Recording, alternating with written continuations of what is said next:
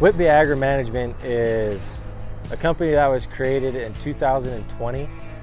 Um, we had the opportunity from an investment group to be partnered up on a farm down in uh, south central Utah. It's about a 5,000 acre farm. It was a good opportunity for us. We're looking to grow and expand as a family. We have the family members to do it. Um, we have the kids that want to work. We have the kids that want to build our family's legacy. And so the opportunity to grow in another state is huge because not everything can be in Washington all the time. Grow a lot of the same crops so we can kind of share our experiences. Um, one of the main differences, like I've said before, is, is we're at 5,000 feet and they're at 600 feet. And so our growing season's a little bit shorter.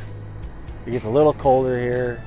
They can grow more crops. They have more availability of different things than we do down here. In Utah, we run uh, wells. We run about 20, I want to say 27 wells. And then we also have Corn Creek, which is up above Kanosh, that when there's a good snowpack runs all year long. And so we get certain amount of water shares of that every year and depending on the year it changes. So some years we can have seven, eight days straight of water and then a week off or a couple days off. Or there's some years we get it for three days and we like, and then two weeks later we get it again. But it's a challenge that we're willing to work with and uh, try new crops and products to try to better the farm that way.